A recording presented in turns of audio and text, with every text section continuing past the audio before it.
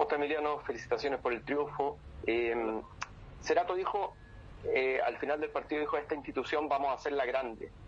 Eh, se lo pregunto directamente, ¿cuesta mantener enfocado al equipo cuando se hace tanta noticia por divisiones eh, dirigenciales y, se hace noticia de manera negativa en este ámbito? Mucho, mucho ha costado.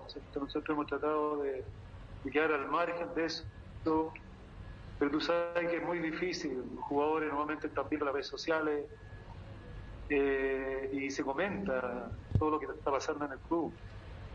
Yo creo que no sé, yo como técnico también de repente me viene esa amargura y esa desesperación de por qué tanta discusión, por qué tanta pelea, porque aquí hay un solo objetivo. Y ese solo objetivo es Cobreloa. Y Cobreloa es que está pasando por un mal momento económico, Cobreloa es que tiene que mejorar, Cobreloa, Cobreloa hay que ayudar. Y esas divisiones que hay no le hace bien al club, no le hace bien al equipo, y eso lo he repetido varias veces. Yo lamentablemente se está viviendo una situación difícil. Todos sabemos lo que es Cobreloa como institución, el pasado que ha tenido, la historia que tiene Cobreloa. Y por qué tantas discusiones, por qué tanto problemática, cuando todos deberíamos llegar a una sola dirección para poder mejorar esta situación y salir del hoyo que estamos económicamente.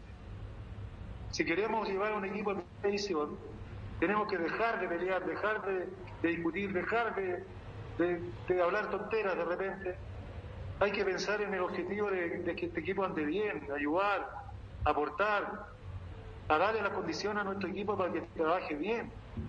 Yo lo que más pido es eso, que me den las condiciones para poder trabajar bien y sacar el rendimiento a los jugadores. Entonces, de repente me molesto mucho yo en ese tipo de situaciones porque yo soy el que que dar la cara ante el equipo.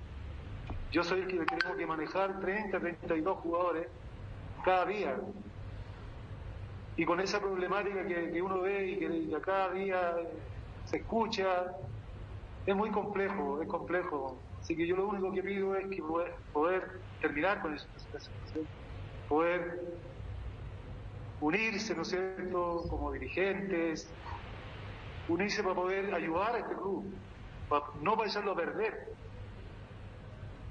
tienen que tener la experiencia que hace muchos años vienen mal en, resultados, en mal manejo.